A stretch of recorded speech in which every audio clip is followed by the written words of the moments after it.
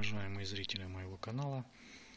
Э, вот э, цилиндр, да, если не ошибаюсь, это тормозной цилиндр на копейку. Э, почему он у меня в руках? Вот, собственно говоря, можете вы спросить, а можете и не спрашивать. Вот написано ВАЗ-2101. Ага. Собственно говоря, потек он зимой.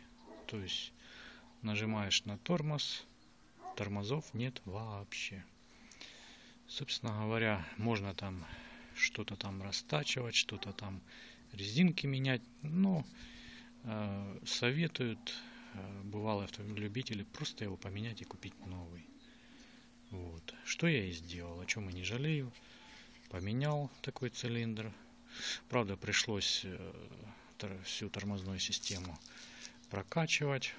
Вот. Но, тем не менее, работает уже несколько лет новый цилиндр, а это уже старенький. Он уже свое отработал.